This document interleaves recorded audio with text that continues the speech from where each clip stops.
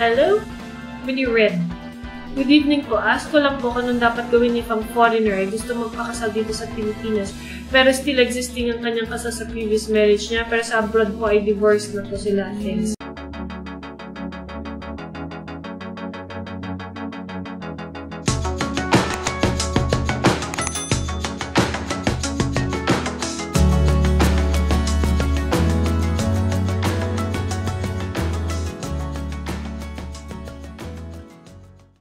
Well, sabi ni KB Bang, thank you po, God bless at sana marami pa kayong matulungan. You're welcome. Um, sabi ni Lani, hi po sa lahat.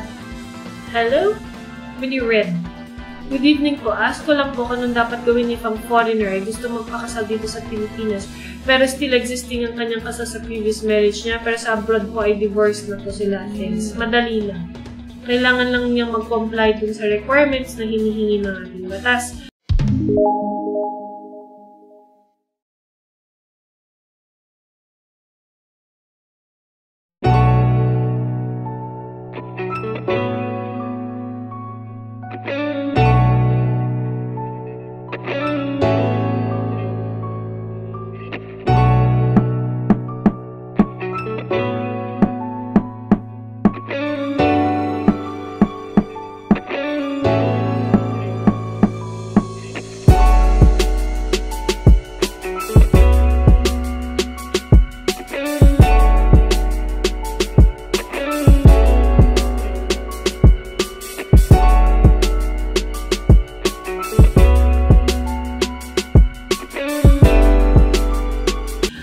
Kailangan niyang ipakita ay ang um, Ano, ah, tungkol sa marriage niya. sandali. Letter. Ah, Mabilisan. Capacity capacity. marry. Yun ang hinihingi. Sa atin kasi Senomar. Pag foreigner, may capacity to marry. Ang nakalagay dito ay meron na siyang kakayahan na maka- mag-asawa na. Ano, sa tamang edad, tapos according to their law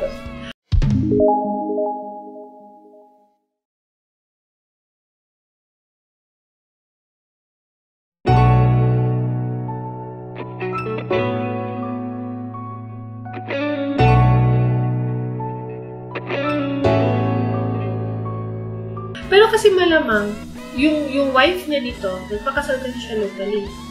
Meron na siyang kasal, Kung rehistrado yung kasal dito, no? pero dinivorce niya na sa abroad. Binivorce niya sa abroad pero rehistrado dito. Tapos Pilipina yung pakakasalan niya. No, kailangan mo ng judicial recognition of divorce. Pero di ba as to the foreigner, yung divorce na yun, single na siya. Oo. Mapapakita naman ho yun eh, kung sa capacity to marry. Pero yung capacity to mero, yun lang talaga ang kailangan. Sa, sa embassy Kung nila. yung foreigner pagpapakasal, pero yung babae yun ang Hmm, kailangan. Yung babae ang may kailangan. Siya dahil siya ay lalaki. Siya lalaki, Judicial no? recognition of divorce.